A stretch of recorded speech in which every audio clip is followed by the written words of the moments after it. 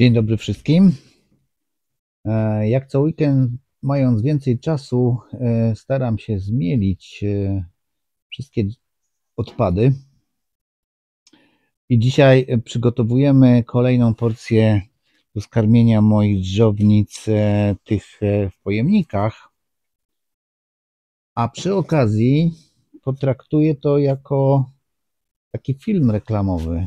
Po pierwsze, proszę o subskrypcję tego kanału z kalifornijskiej i wermikompostowniki, a po drugie chcę zapromować e, te gwiazdy, właśnie drzownice.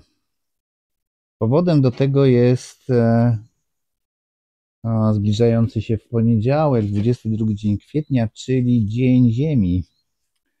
Pewnie przedszkola, szkoły, uczelnie, e, instytuty, instytucje będą się rozwodzić na temat, co zrobić, by ratować tą naszą biedną ziemię.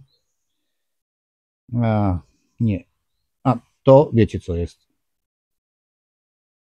Przesiany popiół. E, ratować tą naszą ziemię. Nie ze wszystkimi tymi e, poglądami, powiedzmy to się będę zgadzał, ale to nie o tym dzisiaj film. Tak jak mówię, chcę promować te gwiazdy. Ci, którzy się jeszcze nie zdecydowali, aby rozpocząć e, we własnym zakresie utylizację odpadów, e, proponuję, jeżeli macie chociażby kawałek ziemi, skrawek, działki, a dużo odpadów, tu na przykład e, zapraszam wszystkich no, takich drobnych przedsiębiorców, cukiernie, piekarnie, e, warzywniaki. Tam pewnie jest sporo odpadów. Ja wiem, że część z Was oddaje to gdzieś macie swoje źródła utylizacji, ale mm, proponuję się zastanowić. E, oczywiście nie musicie to robić w ten sposób, e, mając dużą ilość odpadów i zewnętrzne wermikompostowniki. Ja e, nie bawię się w takie mieszanki na co dzień. To są specjalne porcje dla, dla tych drzownic w pudełkach. Ale przemyślcie tematy. Warto to robić.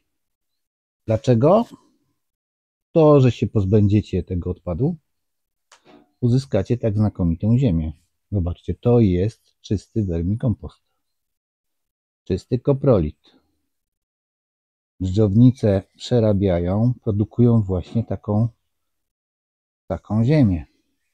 Do tego dochodzi jeszcze płynny, płynny nawóz. E, czy to wykorzystacie? To już jak gdyby zależy od Was. Tą ziemię, nawet jeżeli nie chcecie do niczego wykorzystywać, po prostu rozsypiecie wzdłuż działki. Jeżeli ktokolwiek spróbuje, zakocha się w tej drobnej istocie, polecam. Jeszcze raz subskrybujcie kanał utylizujcie odpady z wykorzystaniem dżdżownic. Pozdrawiam, Ireneusz Pilarz.